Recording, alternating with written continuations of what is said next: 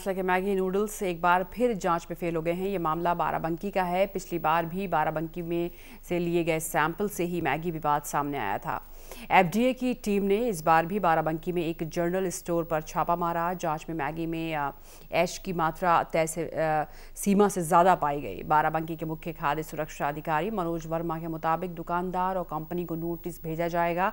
वहीं अगर वो इस जाँच से संतुष्ट नहीं है तो अपने खर्चे पर मान्यता प्राप्त किसी दूसरी लैब से भी जाँच करा सकते हैं। कंपनी को नोटिस भेजी जाएगी। और यदि वो इस जाँच से संतुष्ट हैं तो ठीक है। अगर वो संतुष्ट नहीं है तो इसको अगर वो अपने खर्चे पर उसको रेफरल लैब भेज सकते हैं और वहाँ की जाँच रिपोर्ट अंतिम मानी जाएगी। अच्छा बच्चे इससे पहले भी मैगी के मामले को लेके और, और भी नूडल्स हैं बाराबंकी में हमेशा फेल होते रहे। क्या वजह है कि हमेशा बाराबंकी में ही क्यों फेल हो रहे हैं? नहीं नूडल्स नूडल्स तो कंपनी बना रही है तो बाराबंकी नहीं। हर ज़िले में पूरे प्रदेश में पूरे देश में वो अपनी मार्केटिंग कर रही है।